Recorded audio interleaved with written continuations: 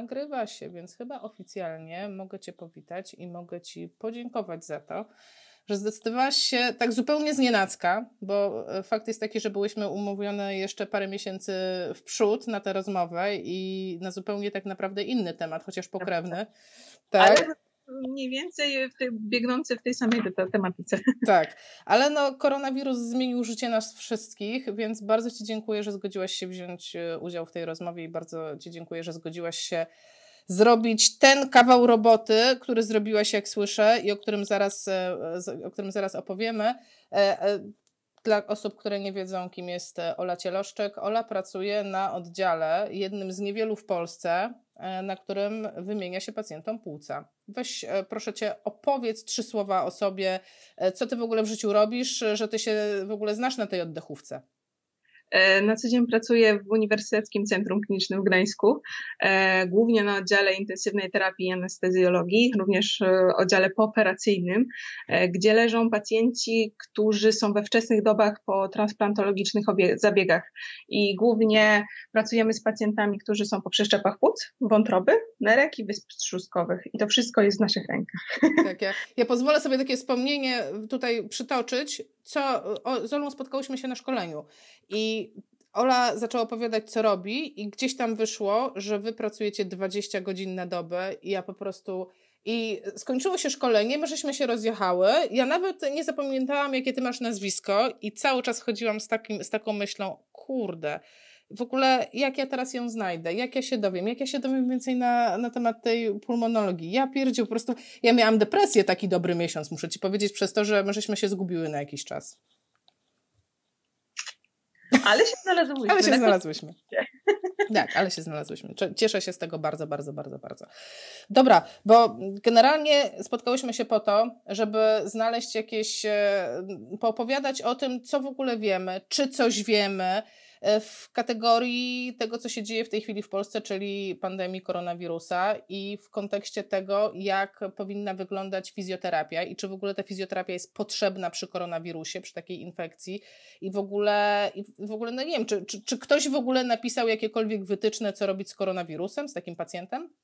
E, teoretycznie tak gdyż są to badania, które zostały udostępnione przez Chinese Medical Association e, i to są wytyczne rzeczywiście takie, które oni jakby opisali, co sami zastosowali podczas pracy z pacjentami z koronawirusem, bo nie ma co oszukiwać, ale u nich jednak ta liczba zachorowań doszła do 80 tysięcy, więc oni musieli też jakby przez pracę fizjoterapeutów zmusić ich, zmusić jakby trochę system do tego, żeby on się e, opus- jakby pacjentów, żeby jak najszybciej leczyć, żeby mogli jak najszybciej pójść do domu i robić miejsca kolejnym e, zarażonym, więc jakby też mocno uruchomili fizjoterapię, która nie ma co się oszukiwać, u nich też dała jakby duży jakby potencjał do tego, żeby ci pacjenci jak najszybciej e, zdrowieli, więc jakby rzeczywiście tam z Chin mamy takie doniesienia, są artykuły na to, e, jednak oni zastrzegają, że to jest tylko i wyłącznie jakby ich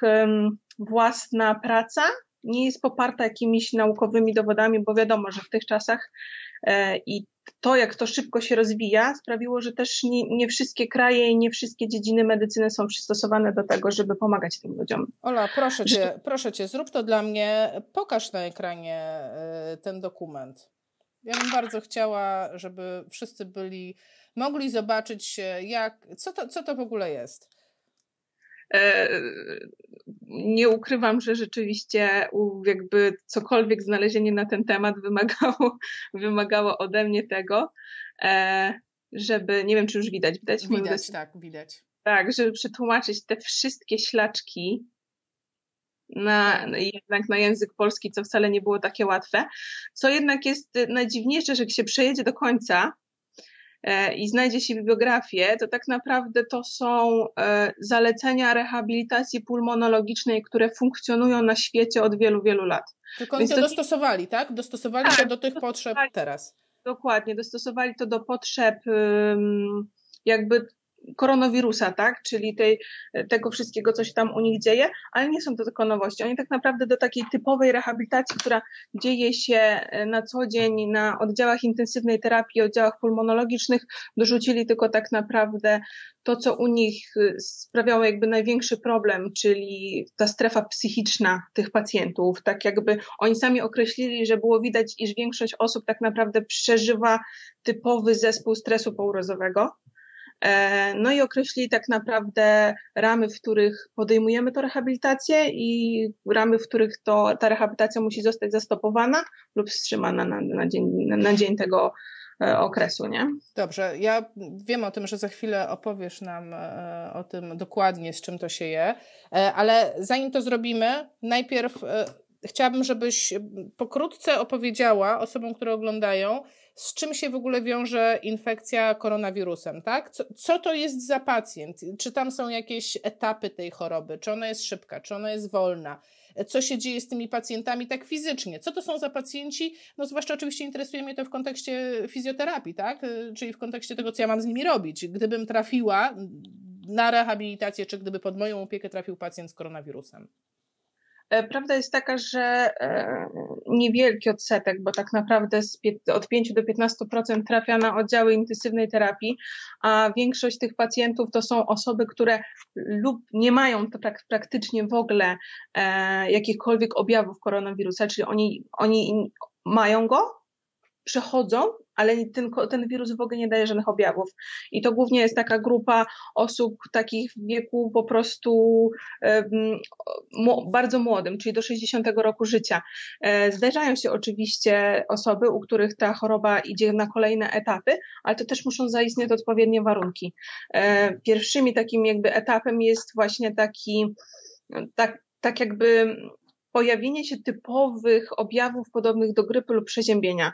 Gorączka, duszność, e, w niewielkim stopniu pojawia się czasem kaszel, e, no i bóle mięśniowe i oczywiście wysoka temperatura. E, same te objawy też pozwalają nam jakby określić, czy to jest też koronawirus, czy to jest grypa, czy to jest zwykłe przeziębienie, bo wiadomo, że na przykład przy, przy, przy tej grypie te temperatury będą wyższe, przy przeziębieniu praktycznie może wyjść bez wysokiej temperatury, ale na przykład takie objawy jak e, bóle mięśniowe, bóle stawowe, mocne uczucie zmęczenia, e, duszność, przeważnie duszność, bo bardzo jakby ani grypa, ani przeziębienie nie wiąże się z narastającą szybko dusznością, więc to, to są pierwsze główne objawy koronawirusa. Przy czym ten etap można tak naprawdę, co jest najważniejsze, poradzić sobie samemu z tym etapem w domu czyli stosując odpowiednie zalecenia, które są przez cały, na całym świecie, jakby na stronie WHO określone, można ten etap spędzić w domu, przechorować i tak naprawdę nie potrzebuje taka osoba szpitala. Najgorzej jest w przypadkach, kiedy z takiego zwykłego powiedzmy takich grypopodobnych y, objawów zaczyna się y, rozbudowywać ten etap taki, gdzie już niestety, ale pojawia się zespół ostrej y, niewydolności oddechowej, czyli ARDS. I on mhm. niestety... Zaczekaj, zaczekaj, zaczekaj, bo tutaj ja bym chciała się na chwilkę zatrzymać. Jeżeli ktoś choruje w domu, tak? Zacznijmy od tego takiego, no bo to będzie chyba najpopularniejszy scenariusz. Ludzie tak, będą tak. chorować w domu, więc przy takim, nazwijmy to, y, łagodnym przebiegu choroby, czyli standardowym w sumie przebiegu, mhm. czego może doświadczyć pacjent chorujący y, i co może na to zrobić? Czy potrzebuje fizjoterapii, czy są jakieś oddziaływania? Co to jest za pacjent, ten chorujący w domu? E, najważniejsze jest, co chcę najbardziej podkreślić, a co niestety jest zmorą dzisiejszej służby zdrowia, to jest niestety to, że jeśli podejrzewamy, że mamy koronawirusa, e, jesteśmy w grupie ryzyka, to nie wzywamy pogotowia. To jest ostatnia rzecz, która powinna być, bo niestety na dzień dzisiejszy w Polsce jest tak mało ratowników medycznych, tak mało karetek, że jeśli ktoś rzeczywiście ma koronawirusa, nic się nie dzieje, ale podejrzewa, że go ma, wezwie karetkę do domu, nie mówiąc o tym, że, że, że jest jakby w grupie ryzyka, to dana sekcja e, jakby ratownictwa medycznego, ona na ten dzień zostaje objęta kwarantanną, więc nie uczestniczy w dalszym procesie. Czyli automatycznie dwóch tak naprawdę ratowników plus karetka no jest wyłączona z jakby z dalszej możliwości pomocy innym osobom, które naprawdę będą jej potrzebować. Więc jeśli podejrzewasz, że masz koronawirusa, że jesteś w grupie, że ktoś z twoich bliskich był za granicą lub mogłeś mieć kontakt z kimś, kto ma taką jakby już rozpoznanego koronawirusa, to nie dzwonimy na pogotowie, tylko na Państwowy Inspektor Sanitarny i oni wszystko po kolei opowiadają, co ty musisz robić i, i jakby zabezpieczając siebie, zabezpieczasz też innych. Tak, Czyli stwarzasz jakby bezpieczeństwo nie tylko dla siebie, ale też dla osób, które są w Twoim otoczeniu. Bo na dzień dzisiejszy są takie badania, gdzie wykazane jest, że jedna osoba praktycznie może cztery inne zarazić. No tak. Więc to przy zwykłej grypie to, to jest. Ma, to jest jakby najba, największa zjadliwość tej, tej jednostki, że ona jest po prostu bardziej zaraźliwa może mniej, mniej jakby niebezpieczna, ale jest bardziej zaraźliwa, nie? No właśnie, jakby... bo, bo, idą takie wytyczne w ogóle z ministerstwa, idą komunikaty w telewizji właśnie, żeby dzwonić na te numery, żeby e, sprawdzać, co trzeba zrobić i iść w te miejsca wyznaczone, gdzie, gdzie przyjmowani są pacjenci z podejrzeniem koronawirusa. No ale dajmy na to, że ta osoba nawet zastosowała się do tych wytycznych, poszła tam, ma rozpoznane, ale przebieg jest łagodny i ma zalecenie choruj w domu. Zresztą takie widziałam dzisiaj komunikaty tak. też w telewizji, tak, choruj w domu, dasz radę to przechorować w domu. Czego ona może doświadczyć? Ty mi mówiłaś, jak żeśmy rozmawiały przed nagraniem, że koronawirus ma taką właściwość, że tak jakby e, odcina dopływ tlenu do ciała, tak? Że nagle to ciało nie jest w stanie wykorzystać tlenu, nawet jeżeli oddychamy. E, to, to, to, to, to co ten pacjent czuje tak fizycznie?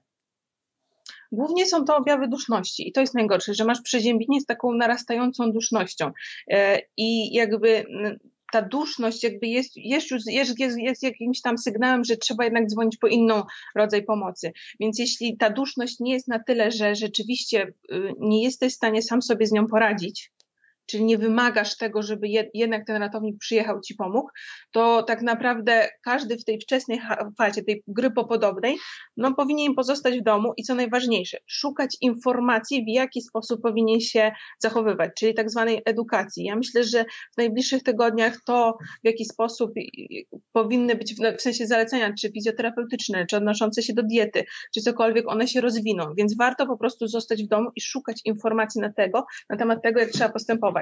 Ważne jest też, że w, tych, w tej ostrej fazie, kiedy czujemy się najgorzej, jednak ograniczyć do minimum jakkolwiek aktywność, w sensie taką um, typu ćwiczenia czy tak dalej. Lepiej dać czas organizmowi na to, żeby się po prostu regenerował. Jedyne, co można zalecić, to są ćwiczenia oddechowe tak naprawdę, które pozwalają nie dość, że poradzić sobie z dusznością, to też pozwolą sobie jakby przygotować się na te późniejsze etapy, że gdy, jeśli rzeczywiście ta choroba się po prostu rozwinie na, na, na, na ten kolejne gorsze, przewlekłe też, jak to nazywamy, etapy. Więc y, tak naprawdę edukacja, odpoczynek, sen. To jest najważniejsze, o czym bardzo mało osób, tak, tak zwana, że ty naprawdę musisz dać organizmowi czas na to, żeby, zarege, żeby się regenerował i żeby tak naprawdę sam zaczął zwalczać tę chorobę. Bo, bo jakby na dzień dzisiejszy też są leki, które jakby powstrzymują to, co się dzieje, ale nie, tak jak dużo osób mówi o tym, żeby nie brać paracetamolu, nie brać jakichś gripexów, bo to tylko maskuje chorobę, a pozwala się jej po prostu dalej rozwijać, nie? Więc raczej skupić się na tym, żeby się regenerować, odpoczywać, dieta. Na przykład palenie papierosów mocno jednak chorobę rozwija, bo to mocno obciąża też układ oddechowy, więc o tym też trzeba nam po prostu pamiętać. Dobrze, a co Chińczycy mówili na temat, co oni rekomendują w tym takiej, w tej takiej, w ogóle wydali w tym dokumencie są jakieś informacje na temat e, fizjoterapii w tym takim e, łagodnym przebiegu, czyli w, ty, w tym domowym, bo e, wspomniałaś na samym początku, że dużym problemem w tej całej chorobie jest to, że narasta lęk w pacjencie i że tak. on zaczyna się bać i w końcu tak, masz tę duszność i ty już nie wiesz, czy masz duszność, bo ci się pogarsza, czy masz duszność, e, że jesteś w panice, czy masz duszność, że się boisz. Ja na przykład jestem takim typem osoby, że ja łapię duszność ze stresu. Ja na przykład mi jest duszno od piątku. E, e, po prostu, po prostu tak, bo tak reaguje na stres, zaraz, ee, ee, zaraz po prostu mam takie stany. E, I czy w takim razie czy mogę traktować to fizjoterapeutycznie jako, nie wiem, e, e, jako postępowanie na przykład tak jak w astmie, tak? Jak mam duszność, no to mam jakieś zalecenia, co mogę zrobić, żeby sobie poradzić z tą dusznością. Czy można to przełożyć na, na te takie lekkie stany z koronawirusem? Tak, oni też właśnie w swoich badaniach podkreślali to, że jakby cały proces rehabilitacji tej wczesnej, to, że ty wiesz dokładnie, co się z tobą będzie działo, pozwoli na to, że w momencie, kiedy ta duszność się pojawi, zamiast panikować i wchodzić jakby na te etapy narastającego lęku, będziesz dokładnie wiedział, co masz zrobić. Więc yy, więc nie pozwolisz tej duszności narastać, bo będziesz wiedział, że musisz się pochylić, przyjąć odpowiednią pozycję. Jeśli, narasta, jeśli duszność narasta, po prostu trzeba też jakby e, zacząć tworzyć łańcuchy zamknięte. Mhm, więc... A pokażesz to? Bo ja myślę, że wiele osób obejrzy to. Ja pamiętam, ja miałam na studiach te wytyczne co do astmy. Połowę pamiętam, połowę nie, ale jeśli, jeśli e, albo powiesz, gdzie można to znaleźć, ale... Ja, ja ja mogę podesłać, bo są e, na przykład bardzo fajne strony e, internetowe, które dokładnie z obrazkami po kolei pokazują. My na przykład mamy też u siebie w szpitalu y, nie wiem, czy będzie widać, mhm. taką ulotkę, która jest na oddziałach pulmonologii, która nazywa się ćwiczenia oddechowe i zalacenia diatetyczne. I tu w bardzo fajnych obrazkach nasi pacjenci dokładnie wiedzą, jakie ćwiczenia wykonywać i jak sobie z taką dusznością radzić, jak powinna wyglądać w ogóle dieta u osoby pulmonologicznej. Więc, y, więc y, myślę, że takich, y, myślę, że po prostu podrzucimy ludziom takiego linka, tak, żeby oni na sami, będzie. tak, dokładnie, żeby oni sami wiedzieli, jakby mo, mogli z niego skorzystać w momencie, kiedy naprawdę potrzebują tej informacji. Tak, Więc... bo to nie jest trudne. Powiedzmy tutaj, e, ciężko nam zademonstrować coś, ale to nie są trudne rzeczy. Generalnie polega to na tym, że trzeba się pochylić, podeprzeć i w zależności dokładnie. od tego, jak się... Tak. Więc, więc to, to, nie są skomplikowane rzeczy, ale najważniejsze jest też, że w momencie, kiedy ta duszność się pojawia, żeby, żeby nie panikować, bo niestety e, lęk i strach włącza w naszym mózgu ośrodek hiperwentylacji, czyli sprawia, że nasze ciało, jakby nasze, zaczynamy płytko, a bardzo szybko oddychać, dokładnie. I to niestety, ale sprawia, że ta duszność narasta. Więc im bardziej my będziemy przygotowani na tę sytuację, tym łatwiej będziemy mogli przejść sobie taki etap i jakby też inaczej, inaczej sobie człowiek to, y, inaczej człowiek postępuje w sytuacjach stresowych, kiedy wie dokładnie, co go po kolei będzie czekało. Świetnie. Więc myślę... E, to Ola, to znaczy, że ja mogę się w jakiś sposób e, jako potencjalny pacjent, bo każdy, prawdopodobnie na jakimś etapie większość z nas zetknie się z tym, że przejdzie to e, i może się tak zdarzyć, że objawowo, to czy my możemy się jakoś przygotować na, to, na, na tą infekcję? Może ja mogę w jakiś sposób popracować nad moim układem oddechowym, nad moim oddychaniem, żeby potem w razie tych trudności, w razie tej choroby było mi lżej. Tak, w ogóle głównym zaleceniem jest to, że jeśli już pozostajemy wszyscy te, jakby w tej kwarantannie, każdy z nas jest w domu, jakby zawieszone są szkoły i tak dalej, to warto ten czas też spożyczkować na to, żeby jednak e, w takich warunkach domowych jakby położyć się na ziemi nawet, jeśli potrzebujesz, wyciszyć chwilę, znaleźć nawet takie, niektórzy proponują, żeby znaleźć rzeczy, które rzeczywiście w takiej sytuacji nas będą relaksować, czy to jest miejsce, czy to jest osoba, która nam w tym pomoże. I po prostu e, w tym miejscu ewentualnie jakby móc sobie też zacząć pracować nad własnym oddechem, czyli sprawdzić, czy rzeczywiście ja oddycham nie tylko górą klatki piersiowej, ale też na przykład dolnymi żebrami, czy mój oddech też idzie w plecy, czyli tak zwany oddech 360, czyli e, samemu zaobserwować, czego mi w danym momencie brakuje. Ustać przed lustrem i zobaczyć, poobserwować własny wdech i, i sprawdzić, czy po prostu on jest tu pełną, czy on się znajduje tylko tu, czy to jest rzeczywiście każdy mój centymetr ciała w tym oddechu e, uczestniczy. Bo nie ma się co oszukiwać, ale w momencie po prostu zachorowania my będziemy narażeni na to, że, że jakby ta nasza zdolność oddechowa będzie malała. Więc jeśli my w tym momencie sobie już ją zwiększymy, to nawet jeśli ona nam trochę ubędzie, to to nie będzie taka duża strata. Bo jeśli nasza zdolność oddechowa, typowo kobiety przeważnie, wciągnięty brzuch, a oddycha tylko góra pleców, kartka, bo przecież wszystkie chcą mieć piękną talię, tak? Więc jeśli y, dolne żebra nie pracują i moja zdolność oddechowa jest na tyle, to nawet jeśli ona się zmniejszy, to ja będę prawdopodobnie potencjalną osobą na respirator. A na dzień dzisiejszy w Polsce tych respiratorów nie mamy. No dobrze, czekaj, czekaj, czekaj, bo ja tutaj wrzuciłam, ty tego nie widzisz, ale ja y, wrzuciłam takie hasło oddech 360 stopni dla tak. wszystkich osób, które chcą sobie poszerzyć temat, bo to generalnie no, musiałybyśmy gadać całą noc, żeby opowiedzieć o wszystkim, co mamy do powiedzenia. Więc, rehabilitacji pulmonologicznej. Dokładnie, więc trzeba to sobie rozwinąć, wpisać w internet hasło oddech 360 stopni i poćwiczyć świadome oddychanie. Jest bardzo wiele osób, jest bardzo wiele fizjoterapeutów, fizjoterapeutek, które tak. zajmują tak. się tym i słuchajcie, znajdziecie te informacje, nie wiem, na Instagramie, na Facebooku, naprawdę my się dzielimy wiedzą bardzo chętnie. Ale to nie tylko jest tak, że musi, trzeba szukać po prostu fizjoterapeuty. Bardzo fajne metody, na przykład medytacji świadomego oddechu, czy to są metody z jogi, cokolwiek. Przecież to, to nie jest tak, że ktoś, są jakieś niewiarygodne ćwiczenia oddechowe. To jest praktycznie to samo, tylko trzeba znaleźć jakby też sposób, który ty chcesz w dany sposób ćwiczyć. Czy jeśli to powiada tobie, że ktoś po prostu robi z tobą ćwiczenia, no to świetnie, to rób. Jeśli jesteś w stanie sam coś wymyśleć, to świetnie rób. Ale lepiej robić coś teraz, nic czekać i się zastanawiać, co będzie. Dobrze, czyli podsumowując, jak nie jesteś chory, zacznij ćwiczyć oddech 360, żebyś wiedział, żeby poprawić swoją wydolność oddechową. Jeżeli chorujesz, pierwsza rzecz, szukaj edukacji. Druga rzecz, nie panikuj. Trzecia rzecz, naucz się, jak sobie radzić z lekkimi dusznościami. Jak będzie ciężka, potrzebujesz pomocy i prze, przejmuje cię jednostka wtedy zamknięta szpitalna.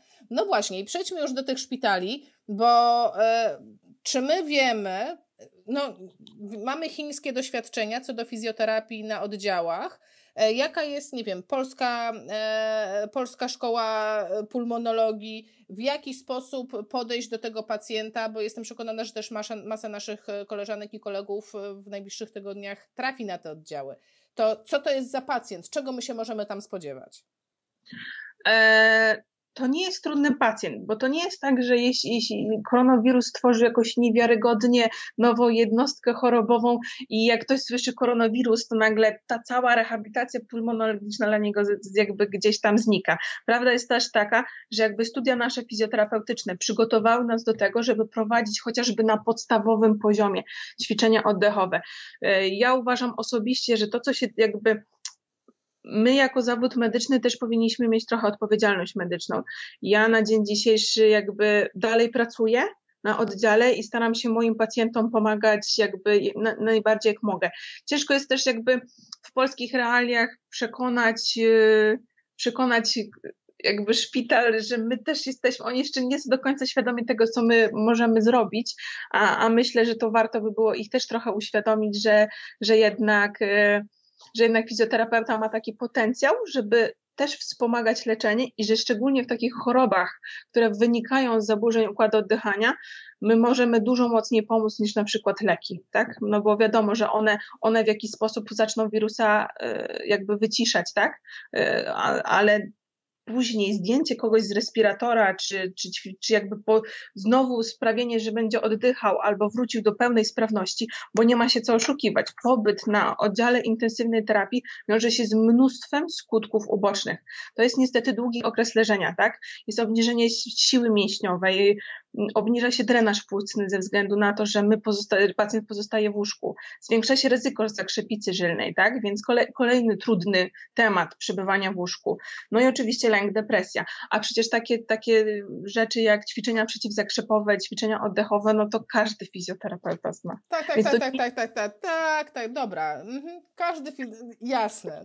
I właśnie dlatego ja jestem po tej drugiej stronie, bo powiem szczerze, Jakbym ja dzisiaj dostała powołanie od ministra, e, pani Tokarska, pani się stawia tam, nie wiem, na Wołoskiej, bo w Warszawie to Wołoska jest. Być, tak, że, że no, mogą nas po prostu zagonić do roboty. Tak? Przecież tak? właśnie dlatego rozmawiamy. I ja myślisz, że.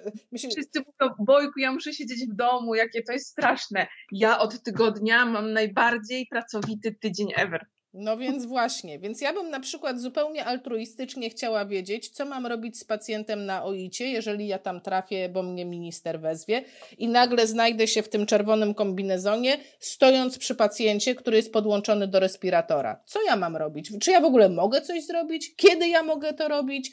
E, powiedz mi cokolwiek. Jak ja mam się odnaleźć w tym systemie? E, ogólnie to jest też tak, że na dzień dzisiejszy jakby po, z góry jest powiedziane, że jeśli chodzi o pacjentów pulmonologicznych, czy to są po, po pacjenci po, po jakich, jakichkolwiek zatrzymaniach krążeniowo-oddechowych, czy to są pacjenci ze względu na to, że narastała jednak ta niewydolność oddechowa, najważniejsze jest to, żeby ta rehabilitacja jak najczęściej, jak najszybciej e, była wprowadzona dla takich pacjentów.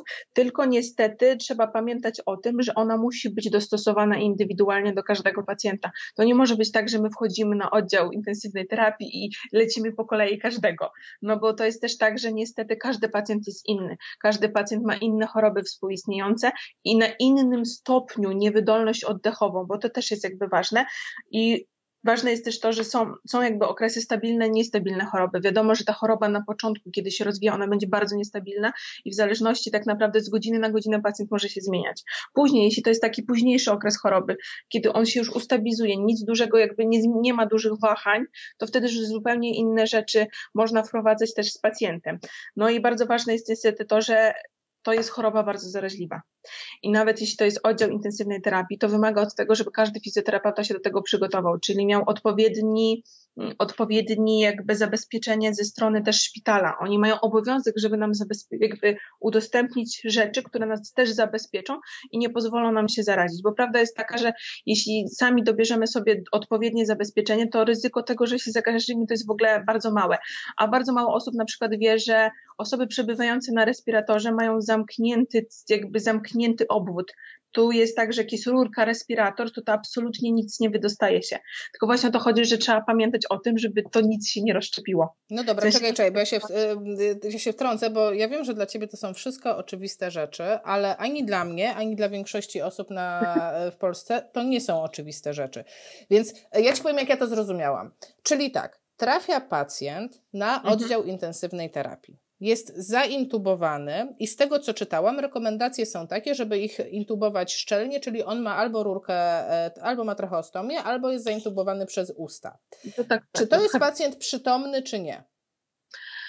Zależy bo jest taka szansa, że może być przytomny, ale przeważnie ta intubacja i to wszystko, co się dzieje z pacjentem sprawia, że oni mają niestety, ale włączane leki typu propofol, fentanyl i tak dalej, które sprawiają, że nie dość, że są zwiotczeni, to są też y, jakby e, śpią. Po prostu są wprowadzani w stan śpiączki farmakologicznej. Nie ma co się ukrywać. To jest kolejny jakby powód taki, że ten narasta ten lęk, narasta ta, ta jakby wszystko, co się wokół ciebie dzieje. Ludzie panikują, więc ta osoba też dodatkowo dodatkowo panikuje, więc kolejny, kolejna rzecz, która sprawia, że wcale nie, jego stan się nie poprawia, a idzie w, dru w drugą stronę. Też bardzo ważne jest to, że inaczej będzie prowadzony ten cały proces, jeśli to będzie osoba starsza, jeśli to będzie dziecko, jeśli to będzie osoba otyła, bo to też intubacja jakby u takiej osoby też zupełnie inaczej wygląda. No i osoby, które są obciążone tysiącem innych chorób współistniejących, szczególnie tych krążeniowych, e, więc to też będzie inaczej wyglądać. Nie? Dobrze, e, ja jeszcze tak wrócę na chwilę, bo ty powiedziałeś, że musimy dbać o siebie, musimy, musimy brać sobie, szpital ma obowiązek nas zabezpieczyć. Ja się odwołam do tego, co wyczytałam w wywiadzie z profesorem Szczeklikiem na ten temat, zresztą bardzo dobrym wywiadzie mogę go podlinkować na dole, e, to tam pan profesor powiedział, że większość zakażeń personelu medycznego miała miejsce nie z powodu zaniedbania, e, że oni nie mieli sprzętu, nie mieli zabezpieczenia, tylko w wyniku tego, że nie umieli tego sprzętu założyć albo zdjąć, zwłaszcza zdjąć bo trzeba jeszcze umieć to założyć i zdjąć i są, y, i są wytyczne, można je znaleźć. One są y, na stronie Krajowego Konsultanta y, Anestezjologii i i zapomniałam czego, ale ja to jestem w stanie to podlinkować. Tak. Wytyczne, jak się ubierać, tak? Znaczy, to jest też tak, że wiesz, ja już po tylu latach spędzonych w szpitalu mam tak, że ja praktycznie ściągając od tyłu robię tak, że ja potrafię w jedną kulkę wszystko zwinąć i wrzucić w kosz. Ale to jest kwestia, wiesz, to zwijasz tu, zabierasz tu, bierzesz tu, ściągasz i dosłownie za jeden ruch. No tak, ale trzeba to umieć, trzeba wiedzieć, że taki ruch istnieje. Ja e, okazało się ostatnio, że ja nie umiem rękawiczek zdjąć, tak? E, tak.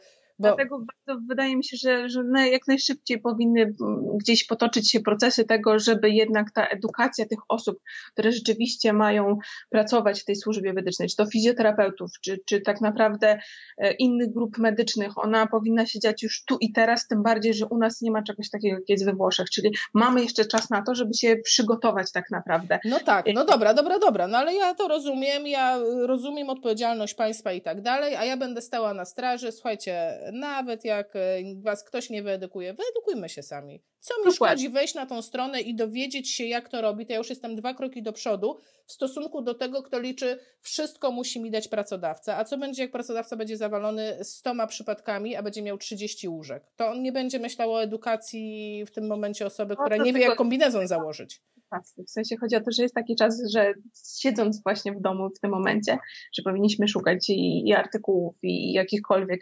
Jeśli jakieś zagadnienie jest dla ciebie niezrozumiałe, to trzeba pytać. To pytanie nikogo nic nie kosztuje, tak?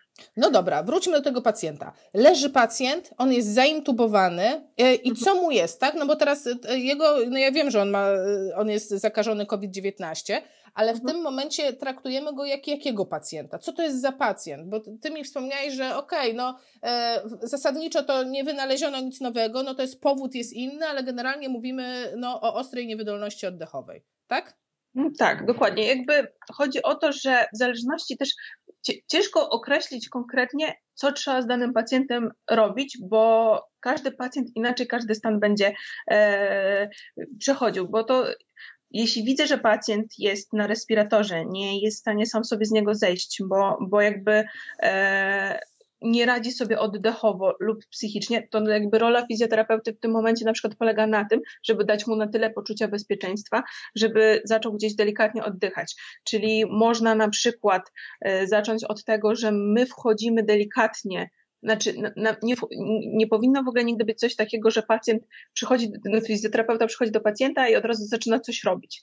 Bardzo początek rehabilitacji powinien wyglądać na tym, żeby wyjaśnić tej osobie. Ona mogła nie mieć wcześniej takiego czegoś, jak, jak właśnie, że jestem w domu i coś tam sobie ćwiczyłem. Ona może być kompletnie zielona, przyjechać do nas skądkolwiek. Więc ja muszę jej wytłumaczyć, co ja w tym momencie będę robił. Ale mówimy Czyli... o przytomnym pacjencie, tak? Teraz ten jest ten, ten zdrowszy taki. Nie jesteśmy w stanie też tak naprawdę powiedzieć, jeśli nawet pacjent śpi, to on czasami ma odstawioną tą sedację, więc może się też w międzyczasie wybudzać, więc to, co my zrobimy, to jeszcze bardziej go zdenerwuje, więc nie jesteśmy w stanie powiedzieć, ile pacjent słyszy i wie w trakcie sedacji. Więc nawet jeśli ty podejrzewasz, że on śpi, warto tak czy siak przyjść, powiedzieć, dotknąć w odpowiedni sposób, czyli nie od razu z rękami na ciało, tylko, tak, tylko spokojnie przywitać się. Tak samo jeśli wchodzimy i chcemy jakiekolwiek wykonywać ruchy jakby wspomagania na przykład dolnych żeber do tego, żeby pogłębić wydech, to to też nie jest tak, że ja wchodzę i od razu Mhm. No dobra, e, czekaj, czekaj, czekaj, czekaj, bo ja bym chciała to troszeczkę uporządkować. E, w tym sensie, że mamy tego pacjenta leżącego, jesteśmy już terapeutą, który wchodzi na oddział do pacjenta leżącego. On ma ostrą niewydolność, niewydolność oddechową, e, traktujemy go jako pacjenta z ARDS, tak? ARDS okay. to jest właśnie ta ostra niewydolność oddechowa. Okay. I ty wspominałeś, że mamy, y, że mamy różne rodzaje tych niewydolności oddechowych, że ta jest po prostu jakaś tam szczególna, tak? Ta jest najbardziej ciężka. Czyli chodzi tak. o to, że, jest, że, że, że to jest stan, w którym ten pacjent no, de facto jest w ryzyku śmierci. E, I mhm. też, e, a co Chińczycy napisali, kiedy oni podejmowali e, rehabilitację? Bo, bo, bo, pamiętam, że tam jakieś dni były, tak, że, że, że to. Tak. Co, co, jak, jak, jak, jaką oni przyjęli strategię rehabilitacji? Że e, rehabilitacja powinna e, odbywać się w momencie, kiedy są spełnione określone warunki. Czyli przede wszystkim, no też nie ma co patrzeć na przykład konkretnie na dni, bo to wiadomo, że pacjent na przykład e, różnie może przechodzić, potrzebować różnych rzeczy, choroby współistniejące. Więc oni jakby przyjęli, że takimi głównymi kryteriami, kiedy my możemy z pacjentem pracować, to jest temperatura, temperatura ciała główny, poniżej 38 stopni, bo to już jakby nam wskazuje, że organizm jakby już nie jest tym najwyższym, jakby ta wysoka gorączka jest bardzo mocno wykluczająca w każdym typie rehabilitacji, tak? E, I jakby oni określili, że to mniej więcej będzie się działo w momencie poniżej siódmego dnia, od diagnozowania tego pacjenta, tak? Czyli on też jest, jakby ten okres tego zarażania też jest jakby mniejszy, bo, bo to nie ma tak, że pacjent też w każdym, jakby w każdym czasie zaraża tak samo, nie? Czyli poniżej Więc... siódmego dnia wchodzimy z rehabilitacją, czy nie? Nie, powyżej, powyżej siódmego dnia. Czyli poniżej... rehabilitację zaczynamy powyżej po siódmym dniu od zdiagnozowania od wstępnej diagnozy. I to oni jeszcze jakby mocniej to zaczęli jeszcze formułować, że to musi być też powyżej trzeciego dnia od wystąpienia duszności. Mhm. Czyli jakby 7, tu 7 dni, a tu po prostu 3 dni od momentu duszności, bo ona też wiadomo, że ona będzie narastać, więc my musimy poczekać też tak naprawdę na ten okres takiej stabilizacji choroby, bo, bo jeśli bo to nie jest też tak, że rehabilitacja w wszystkich przypadkach pomaga. Jeśli my wejdziemy w okres, w ostrym okresie choroby, to my możemy po prostu przeszkadzać w tym momencie, a jakby bardziej wtedy zalecane są, czy to płyną te, jakby te inne rzeczy, które pozostają w kwestii pielęgniarek i lekarzy, tak? bardzo ważne jest też to, że na przykład ta rehabilitacja nie powinna wyglądać w ten sposób, że my wchodzimy i godzinę ćwiczymy z pacjentem. Jakby głównym wskazaniem jest to, że ona powinna się odbywać krótko, a bardzo często. Podają jak krótko i jak często? E, oni mówią, że to powinno być tak naprawdę e, około, około 15-45 minut. E, do, dwóch, czterech razy dziennie, nie? W zależności też od stanu pacjenta i tego, jaki on, czego on będzie od nas wymagał.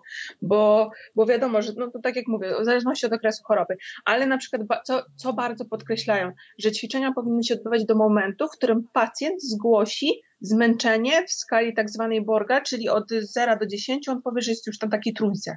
I to powinien być dla nas, jeśli on zgłasza, że to już jest trójka zmęczenia, to tu rehabilitacja już powinna się jakby gdzieś kończyć, bo mało osób wie, że też wysiłek fizyczny to też jest stres dla organizmu. I jeśli to zmęczenie narasta, to wiadomo, że układ immunologiczny też zaczyna w, inna, w inny sposób y, pracować. Czyli, czyli, czyli, czyli 3 w skali do 10, bo ja to wyobraź sobie teraz tak. wszystko spisuję i wrzucam koło ciebie, takie napisy się pojawiają, że, e, że temperatura poniżej 38 stopni, e, po siódmym dniu od wstępnej diagnozy, minimum 3 dni od wstępnych duszności, 15-45 e, minut 2-4 razy dziennie, maksymalne zmęczenie 3 w skali do 10. I jeszcze co ważne, godzina po posiłku. Godzina, ale to są wszystko ważne rzeczy. Słuchaj, no to nie są nasze polskie wytyczne, ale to jest, e, e, to jest uważam, no jakieś doświadczenie zebrane. Mhm. Wstawiłam minimum jedna godzina po posiłku. E, I od razu też podkreślmy, że e, to są chińskie wytyczne, znaczy wytyczne, e, nawet to nie są chyba wytyczne, to są... Nie są wytyczne, to są jakby ich własne doświadczenia, które zostały po prostu zebrane w trakcie tego wszystkiego, co u nich się w międzyczasie działo. Mhm. Też nie można traktować tego jak wytyczne, bo wiadomo, jeśli e, to jest też inny kraj i inna, inna, inny system postępowania. My możemy własne wytyczne sobie też w międzyczasie. Ja nie mówię, że one są jedyne, którym powinniśmy się kierować, ale jakby też nakierunkowują już na, na to, że oni to przeszli i mogą nam coś poradzić. Okej, okay. ja to zapisałam. E, kto ma potrzebę, to sobie robi screena, e, będzie miał tam czym się troszeczkę posiłkować i już to chowam i możemy rozmawiać dalej. Czyli takie mamy takie już jakby wstęp, co oni sobie wybadali, to już mamy. Patrz, w ogóle mnie nie widać, wyłączyłam się takimi napisami, się zajęłam, żeby było ładnie. Okej, okay. E, czyli mamy, mamy tego pacjenta, przychodzimy do niego. Ty byś, e, w jakim kierunku byś sugerowała podjęcie terapii? Od czego taki terapeuta, co po prostu kompletnie, tak jak ja, nie mam kompletnie doświadczenia w pulmonologii, w życiu nie byłam na oddziale na, na OIC, w życiu nie pracowałam z pacjentem zaintubowanym i wchodzę po prostu tam, cała na biało albo na czerwono i słuchaj, no ja w tym momencie, ja, ja, ja mam już mokro i, i, i bynajmniej nie z ekscytacji. E, jakby my, my na dzień dzisiejszy, jeśli chodzi o intensywną terapię, to skupiamy się na czterech najważniejszych rzeczach, czyli głównie to jest oczyszczanie dróg oddechowych.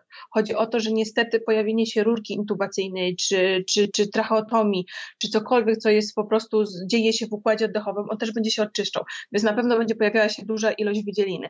Więc jakby kwestią fizjoterapeutów jest też to, aby pomóc tym pacjentom to wydzielinę Mm, ewakuować poza układ oddechowy. I tu spokojnie można użyć sobie oklepywania, wibracji, wstrząsania klatki piersiowej. Nie ma problemu, żeby ten pacjent nawet z rurką intubacyjną czy tracheotomią układał się na boku i, i oklepywania na boku, e, czy, czy rzeczywiście na przykład w takich wyższych pozycjach siedzących, bo nie ma się co bać respiratora, jeśli tu się nic nie, jeśli tu się nic nie rozpina, to pacjent, pacjent my czasami pacjentów z respiratorem siadamy i to dla nas żaden, sadzamy w sensie na łóżku, to żaden problem, żeby lepiej było na przykład oklepać, że pacjent mógł się pochylić i rzeczywiście te, ta ewakuacja tej wydzieliny była w taki maksymalny sposób efektywna. Czekaj, czekaj, muszę Druga... się wtrącić, muszę się wtrącić, bo jeśli chodzi o ewakuację wydzieliny, to wchodzimy w procedurę, które powodują tak zwany e, aerozol.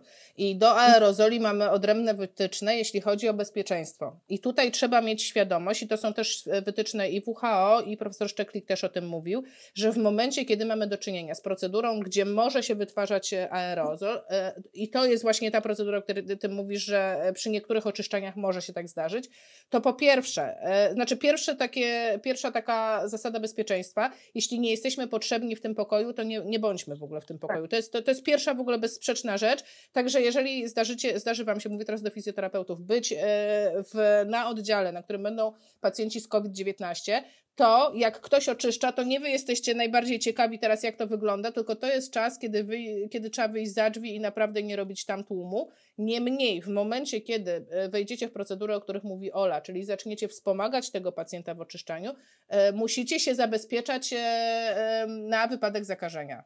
Amen. To nie jest też tak, że my musimy w ostateczności, jakby, że fizjoterapeuta musi doprowadzić do tego, żeby wydzieli nam, my możemy ewentualnie pobudzić danego pacjenta do tego, żeby miał ten efektywny kaszel, tak? Poprzez na przykład ćwiczenia oddechowe. My nie do końca musimy brać się za na przykład odsysanie, jakby kaszle, tak dalej, tak dalej, bo tym może, może się zajmować pielęgniarka, chociaż na przykład jest coś takiego, że są na przykład takie specjalne maski, które po prostu pacjent sobie do nich po prostu wykaszluje, wypluje, ona jest po prostu usuwana. Albo to, co na przykład Chiny podały. Oni po prostu brali zwykłe woreczki, tak jak do wymiotów i kazali im po prostu w ten woreczek kaszleć, przy on był zamykany, szczelnie wyrzucany, specjalną taką nakładką, nie? Więc to też myślę, że to jest tylko no, kwestia tego, że, że jakby z dostępnością tego, nie? Na naszych oddziałach. To, to jakby to jest tylko sugestia. No tak, ale, tak. ale już przynajmniej wiadomo, co robić. E, czyli, no. czy, czy, czyli pierwsza taka rzecz, ułatwić mu e, przesuwanie wydzieliny od dołu ku górze, tak? No. Czy poklepać. Wibratory często są też chyba na oddziałach, prawda? My mamy łóżka, które oklepują i wibrują, ale to nie podejrzewam, że nie wszystkie oddziały intensywnej terapii No ja myślę, że Polska to jednak, że wiele osób będzie po prostu klepać i powiedzmy, że to nie jest zła procedura, tak? Nie, nie, nie. nie. Ja uważam, że w ogóle takie manualne klepanie jest dużo lepsze niż takie, czy to są te takie do dzieci na przykład z muko, takie specjalne e, kombinezoniki, czy, czy to jest te łóżko, bo, bo jednak to jest tak, że my mamy, my, ja, ja, ja klepiąc słyszę, w którym, w którym miejscu jest ta wydzielina, która wymaga e, tej ewakuacji, bo to jest zupełnie inne dudnienie, nie? Więc można to naprawdę z, z czasem zobaczyć, w którym miejscu. Ja czasami przykładam rękę i wiem, że to jest, to jest pełno, nie? Nie wiem, co powiedzieć. W tej chwili nie wiem, co powiedzieć. No dobrze. Tak. Kolejne. No, cudownie. Okej, okay, ale dobra nie czas na żarty, tak? Aczkolwiek trzeba też rozluźniać e, atmosferę zdecydowanie. Więc e, ewakuacja wydzieliny, jak nie pamiętacie tego, trzeba sobie otworzyć e, fizjoterapię oddechową, tam są sposoby wibrowania, tam są sposoby oklepywania. Generalnie standardowa fizjoterapia, standardowa oddechówka, nic wyrafinowanego, tak? Tak samo na przykład kolejnym etapem u nas jest kontrola oddechu, tak? Czyli ja sprawdzam, czego pacjent, to, to samo co robiłam w domu, sprawdzam, czego potrzebuje mój pacjent. Czy on już tylko oddycha górą i ta hiperwentylacja już się nie może prze, jakby przerwać. Więc bardzo często jest na przykład tak, że wtedy ten pacjent nie do końca czasem wie, co ma robić. Więc bardzo na przykład ważne jest to, żeby położyć ręce w miejscu, w którym ja chcę, żeby poszedł tlen i żeby on się skupił na tym, że on ma, on ma tam rzeczywiście zawędrować. I często jest tak, że pacjenci wtedy, jak skupiają się na tym, gdzie ten, gdzie ten tlen wysłać, oni się w tym czasie też wyciszają. Więc to też jest na przykład bardzo fajna, fajne dla nich ćwiczenie i można w ten sposób sobie z nimi pracować. Albo bardzo mało osób y, robi długi wydech, więc to też jest na przykład fajne ćwiczenie, bo jednak długi wydech sprawia, że płuca podnoszą się wyżej, bo one są e, jakby um, pozbywane powietrza, więc się obkurczają, więc one idą wyżej. Więc łatwiej jest komuś pozbyć się wydzieliny, kiedy te płuca są wysoko, niż kiedy są dopchane powietrzem do końca i jakby cała ta wydzielina jest dopychana po prostu e, do kątów płuc, nie? Więc to też jest na przykład ważne, żeby się skupić na tym, żeby też oddech 360 e, i żeby pacjent był w stanie na przykład e, myśleć o tym, gdzie ten oddech ma być. I bardzo często ci pacjenci, którzy są na respiratorach, mm, oni nie do końca E, do końca używają przepony, bo, bo to jest też tak, że w zależności od tego, jaki jest tryb respiratora, on sprawia, że, że to jest takie sztuczne, na, sztuczne wpychanie powietrza i jego zabieranie z podciśnieniem. Więc tam przepona absolutnie nic nie robi. Więc też bardzo ważne, żeby pokazać im, gdzie ona jest, i żeby po, jakby też pomóc trochę jej w pracę, bo to też jest mięsień, który niestety y, im słabszy jest człowiek, on też gubi swoją możliwości rozkurczania się i, i swojej pracy. Okej, okay, a, a, a pozycja ułożeniowa? Pamiętam, że maglowali nas z pozycji ułożeniowych. Mam zacząć je znowu powtarzać, czy, czy, czy nie? W sensie trenat ułożeniowy, ja myślę, że bardzo rzadko to korzystam, dlatego że wyobraź sobie, że jesteś osobą, której brakuje wdechu i nagle ktoś ci się każe kłaść głową w dół. To jest nasila lęk. Ja uważam, że to wcale nie jest dobra pozycja dla takich osób. No dobra, ale, ale z drugiej strony e, rozmawiałyśmy o tym wcześniej, że jest część pacjentów, których się wentyluje na, w leżeniu na przodem, czyli w leżeniu na brzuchu. Jedyny przypadek, gdzie rzeczywiście stosuje się tak bardzo często ułożenie, to jest ARDS, ale niestety to są tacy pacjenci, u których ta ostra niewydolność oddechowa, ona jest jakby najbardziej niebezpieczna. I tam rzeczywiście układa się takiego pacjenta na brzuchu po to, e, żeby wspomóc to pracę oddechową, bo, bo jak pacjent leży na brzuchu, to jakby ten cały ciężar trzewi, czyli serca, który jest z przodu, na brzuchu on nagle jest w dole, czyli działa razem z grawitacją, więc płuca mają też jakby większą możliwość po prostu pracy, tak? Mniejszy ucisk jest też na jakby gdzieś tam na przeponę. I to jest bardzo ważne, że jak człowiek też leży na brzuchu, to zwiększa się ciśnienie w jamie brzusznej, przez to zwiększa się ciśnienie w klatce piersiowej, więc też jest łatwiej im po prostu oddychać. I rzeczywiście u osób w takich ciężkich przypadkach z RDS-em, e, nie mówię już o takich krytycznych, tylko już takich, y, że nie jestem jeszcze na tym początku, ale gdzieś w środku, stosuje się takie układanie na brzuchu i wtedy pacjent w takiej pozycji przebywa przeważnie około 2 do 12 godzin na dobę. I, i oni bardzo fajnie sobie wtedy, ale to też jest taka forma wspomagania, ale to nie jest forma rehabilitacji.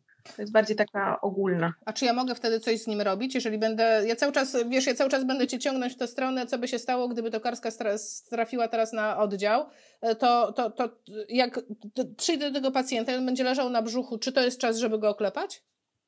E, myślę, że tak, nie ma problemu. On po prostu, chodzi o to, że on ma wtedy respirator, przeważnie są to osoby na respiratorze, więc on ma też układ zamknięty, więc nawet jak coś odkrztusi, to to wpadnie do kominka. I, i jakby nic nie, nie, nie, nie wydostanie się na zewnątrz, więc my w tym momencie jesteśmy kominka, takiej plastikowej zatyczki. Dziękuję, dokładnie, czyli zatyczki, jak tu ma tą rurkę, ma tak, on ma taki filtr, który sprawia, że też jakby mm, filtruje pewnie powie, filtruje powietrze, ale też w momencie, kiedy on odkrztusi, to, to po prostu się tutaj zatrzymuje, bo nie jest w stanie pójść dalej, nie? Więc dla nas też to jest jakby e, ważne, a musimy pamiętać o tym, że niestety pacjenci przebywający na respiratorach tracą spontaniczny oddech. Oni jakby mm, na tyle ich mózg się rozleniwia, tak to można po chłopsku powiedzieć, że ten respirator pracuje za nich, więc po co oni mają sami jakby podejmować tą, e, tą akcję oddechową, więc tu też jest tak jakby praca z fizjoterapeutą musi być też w pewnym, w pewnym momencie połączona z pracą lekarza, bo tu też musi być jednak lekarz, który będzie nad nami nadzorował. Na przykład mówił nam, że on spróbuje trochę zmienić tryb oddechowy na na przykład mniejsze wspomaganie respiratora. I tu mogę wejść na przykład ja i mimo, że respirator mi pomaga, ja mu pomagam i w pewnym momencie ja też odchodzę, więc on musi podjąć sam pracę oddechową. Czyli tym niestety... sposobem wyszłyśmy w kolejny temat, e, jak prowadzić zejście z respiratora. Czyli e, zakładamy, że ten pacjent zdrowieje, i mhm. lekarz podejmuje decyzję, no teraz jest współpraca, tak? E, to teraz będę zmniejszał pracę respiratora po to, żeby on podejmował własny oddech powoli, bo rozumiem, że to nie jest tak, że bo ja mam na przykład wyobrażenie takie jak z seriali, że pochodzi ktoś, fru, rura, ta osoba robi, a już jest dobrze. E, ja mówię o takim super, znaczy jak my robimy, kiedy, kiedy rzeczywiście jest na to czas i jest możliwość. Tylko podejrzewam, że w momencie, kiedy rzeczywiście pojawi się koronawirus, to będzie po prostu przełączymy go na oddech własny, zobaczymy, czy da radę, czy nie da rady, nie? I wtedy na przykład fizjoterapeuta, ja mówię o takim super, super, jak, jak my to robimy na oddziale, kiedy mamy czas. Dobra, ale opowiedz, jak to robicie na oddziale, czyli, czyli to jest tak, czy ja dobrze zrozumiałam.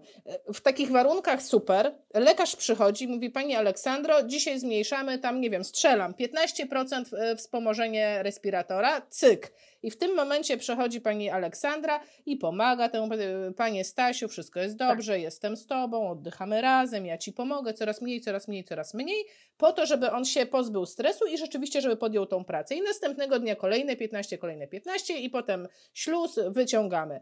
A gdyby, a gdyby nie było na to czasu i gdyby było rzeczywiście, tak jak mówisz, no mogą być takie warunki troszeczkę niedługo e, bojowe i rzeczywiście będzie to nagłe wyjęcie, to jak wygląda wtedy praca fizjoterapeuty? Jak wyobrażasz sobie, tak? Bo zakładam, nie wiem, czy byłaś w takiej sytuacji, czy nie byłaś? Znaczy, wiesz, to, to jest y, na niektórych oddziałach to jest standard, że nie ma, że pięknie współpracujesz z fizjoterapeutą, tylko przychodzi pan doktor, zdejmuje respirator, wkłada zwykły dopływ tlenu na ten tak zwany kominek i on y, zobaczymy, czy sobie poradzi, tak? E, ale bardzo ważne jest to, że do momentu, kiedy to nie nastąpi, czyli to jakby przejście na ten oddech własny, na przykład co może robić fizjoterapeuta? Takie zwykłe zwiększenie siły mięśniowej, czy tego, że aktywność pacjenta w tym łóżku się zwiększa, to też ma bezpośredni wpływ na to, jak pacjent poradzi sobie na oddechu własnym, bo nie ma co oszukiwać. Pacjent, który leży jak placek, on sobie nie poradzi. A jeśli pacjent jest na tym respiratorze, ale w międzyczasie sobie tutaj manewruje rękami, nogi podciąga, zmienia pozycję, to wiadomo, że taki pacjent ma większe szanse na to, żeby z tego respiratora zejść, niż taka osoba, która leży płackiem, no i zobaczmy, co będzie. Ola, czyli, czyli czekaj, to my wracamy do podstaw, bo okazuje się, że wiesz, że, że, żeśmy się wyspecjalizowali, nie wiadomo, czy ma tutaj podstawy. On ma zrobić ogólnorozwojówkę, e, jak to się mówi, przyłóżkowo, on ma zrobić tą przysłowiową nóżkę w górę, nóżkę w dół, po to, żeby potem lepiej sobie poradził z wyjściem z respiratora. I to jest zarąbiście ważna praca, bo jak tak. my tego nie zrobimy, to tego nikt nie zrobi, ja rozumiem. Dokładnie. I to się nazywa trening, znaczy to jest tak, że e, my możemy to ułatwić, przyspieszyć. Albo to jest tak, jak ja zawsze to porównuję, jak opowiadam studentów, jak to jest z nauką pływania. Albo tatuś przychodzi i ci pokazuje i ładnie wszyscy razem zaczynacie pływać, albo tatuś przychodzi, wrzuca i albo płyniesz, albo nie płyniesz. wiesz, wiesz o to? Tak, mam pewne wspomnienia z dzieciństwa. Ale na przykład my to nazywamy treningiem kontroli oddechu.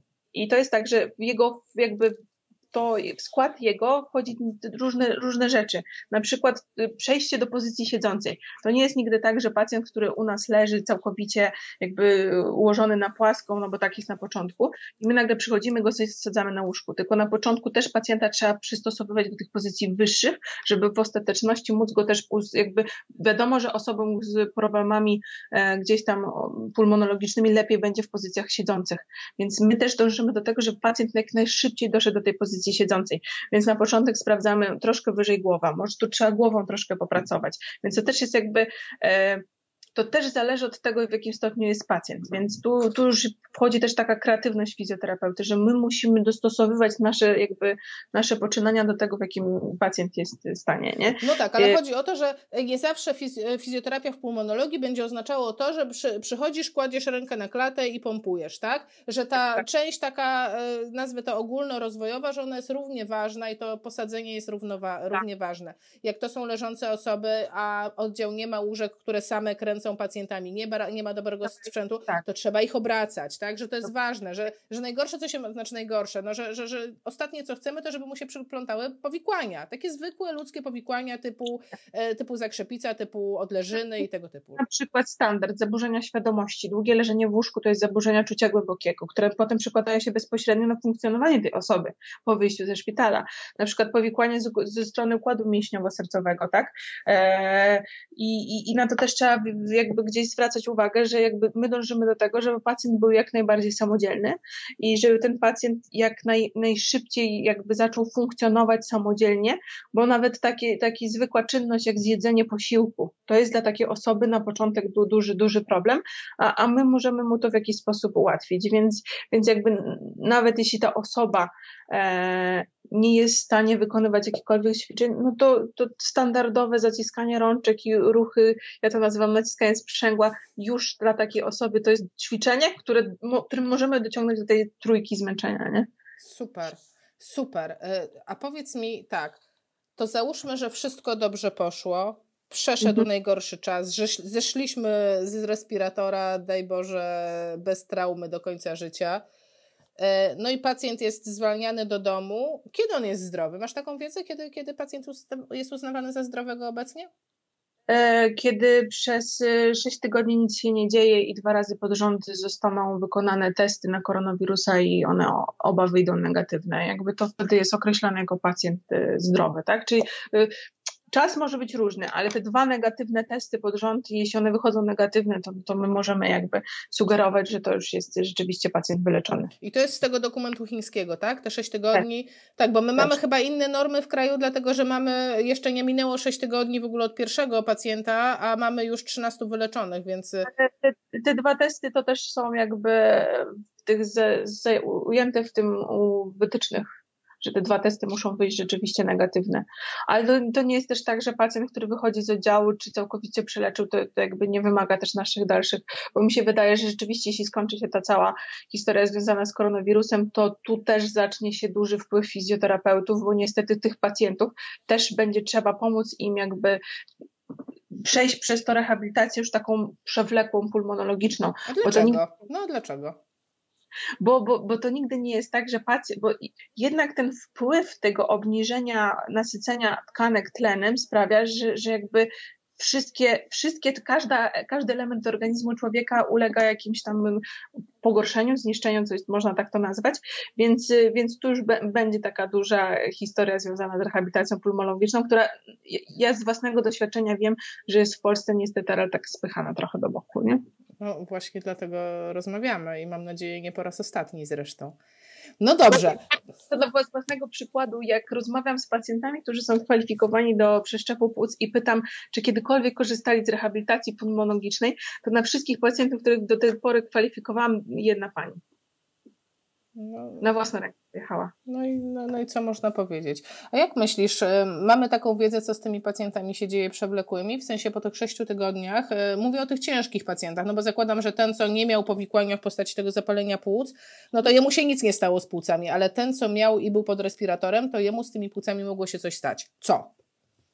No, zmniejszy się wydolność oddechowa, czyli to, co rozmawialiśmy, co sobie ćwiczyliśmy. On teraz wydolność będzie, niestety to będzie się objawiało tym, że będzie zwiększa, większa podatność niestety na zmęczenie, czy to takimi zwykłymi czynnościami, bo na przykład bardzo mało osób ma, w ogóle do czynienia z osobą, która dłuższy czas przebywała na oddziale intensywnej terapii. Takie osoby naprawdę uczą się życia na nowo i to jest tak, że one muszą, bardzo często tłów jest słaby po takim pobycie, więc zaczynamy tak naprawdę od pacjenta, który musi nauczyć się siedzieć, który musi nauczyć nauczyć się chodzić, który musi zaczynać jakby sam funkcjonować w środowisku i to też jest tak, że bardzo rzadko e, ktokolwiek z, jakby z rodziny, czy jakby żaden normalny człowiek nie jest przygotowany na to, że trafia mu się nagle niepełnosprawna osoba w domu, tak? Więc to też, też jakby rola fizjoterapeuty będzie polegała też na tym, e, żeby jednak pomóc im wrócić do normalnego życia, poradzić sobie z tym wszystkim, to tak jak właśnie Chińczycy po, podkreślali, że niestety taki pobyt to można spokojnie podciągnąć pod zespół stresu pourazowego. Czyli też może skończyć się depresją, a jeśli ktoś pozwoli nam spokojnie przejść z tego momentu, kiedy jestem osobą jakby zależną od innych, do, do momentu, kiedy sam sobie radzę z własnym życiem, to myślę, że tutaj te skutki psychiczne, e, psychologiczne, czy ten lęk, czy ta depresja rzeczywiście można to ograniczyć.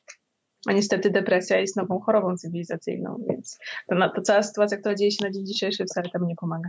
No tak, czyli tak podsumowując, jeżeli będziemy mieć pacjenta, bo teraz, e, bo teraz rozmawialiśmy, rozmawialiśmy o tej grupie fizjoterapeutów, którzy trafią na tych pacjentów normalnie na oddziałach, no ale mhm. za trzy miesiące to będzie już naprawdę rzesza fizjoterapeutów, którzy trafią tych pacjentów już zdrowych, ale po przejściach, po przejściu COVID-19, więc e, w tym momencie z tego, co mówisz, to rozumiem tak, trzeba się odwołać do edukacji, trzeba się odwołać do zrozumienia tego, że jest to coś więcej niż tylko niewydolność oddechowa, bo dochodzą do tego czynniki te psychologiczne, e, i trzeba się pochylić nad niewydolnością oddechową i nad ogólną tak naprawdę kondycją, tak?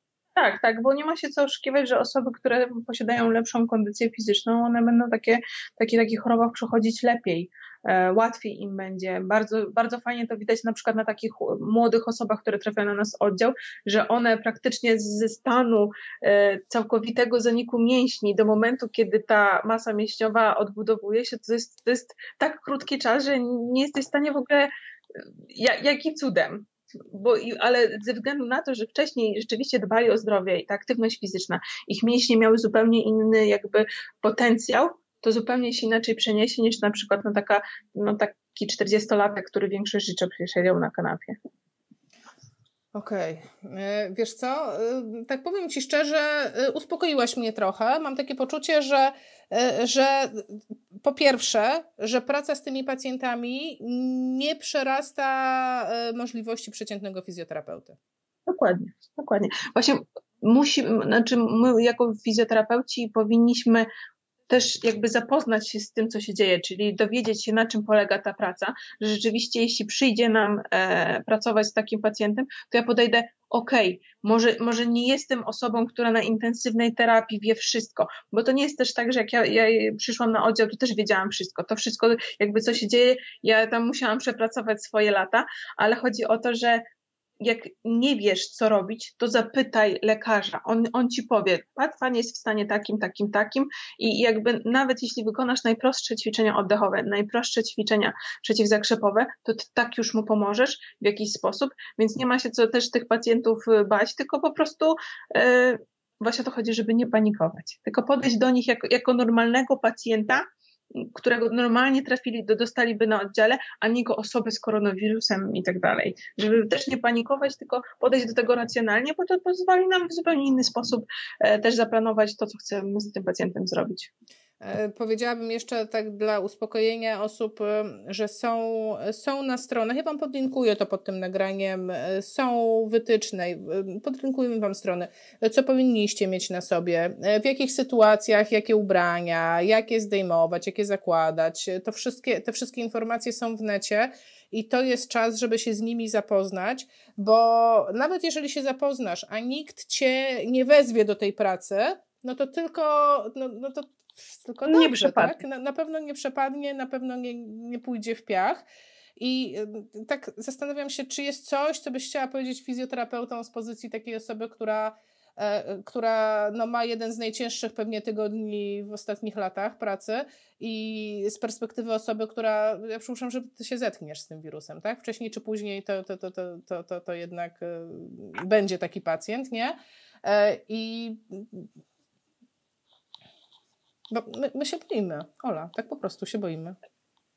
Tak, ale z drugiej jakby każdy się boi, ale z drugiej strony każdy z nas wybierając zawód medyczny wiedział, że, że jest to zawód, który polega na tym, że my poświęcamy się też dla drugiego człowieka, tak? Więc ja nie wyobrażam sobie, że na przykład ratownik czy pielęgniarka zostawia pacjenta na dzień dzisiejszy e, przy łóżku, bo on się boi koronawirusa. I jeśli im więcej my wiemy o tej chorobie, jakby każdy mnie też na dzień dzisiejszy pyta, czy ja się nie boję jechać do pracy. No nie, bo ja mam taką wiedzę, taką świadomość, że dla mnie wychodzenie codziennie do pracy, dla mnie to jest zwykły dzień roboczy i niczym on się nie różni od okresu przed. Jest tylko, jak to się śmiejemy, jest okres przedświąteczny, bo to jest zawsze tak, że na działach zawsze się robi przed świętami pusto i dla nas to jest taki okres przedświąteczny. Jest ten strach, ale im więcej ja wiem o tej chorobie, tym jakby jestem w stanie e, w zupełnie inny sposób podejść do tej pracy. I też polecam każdemu, że jeśli nie czuje się e, przygotowany, to jest właśnie ten czas, żeby, żeby sobie poczytać, żeby, żeby znaleźć te informacje. Ja, ja też zawsze e, to, co mówię moim dziewczynom, nie wiesz, to pytaj. Nikt jeszcze zapytanie nie został w jakiś sposób, e, że tak powiem, jakby wyśmiany czy coś sposób, a lepiej, żebyś nawet został wyśmiany, ale się czegoś dowiedział, niż, niż żebyś od, jakby ze swoich lęków sprawił, że tej drugiej osobie nie pomoże. I to nie jest też tak, że, że my będziemy wymagać tej fizjoterapii, ale u każdego w domu może pojawić się osoba, która wymaga jakby, e, w nasz pewno w naszym otoczeniu będą takie osoby, które kiedyś będą wymagały naszej, naszej pracy, nie? Tak, ja sobie zapisałam jeszcze, żeby podlinkować taki dokument, który mi wysłałaś e, o zdrowiu psychicznym nas, personelu medycznego, tak. jak zachować spokój i jak sobie poradzić z naszymi własnymi lękami. E, ja Wam to też podlinkuję tutaj w, Tam jest, na tak, dole. Jeden ulubiony podpunkt, że y, jeśli coś robiłeś kiedyś szybko, to teraz naucz się robić to dwa razy szybciej, ale bez paniki.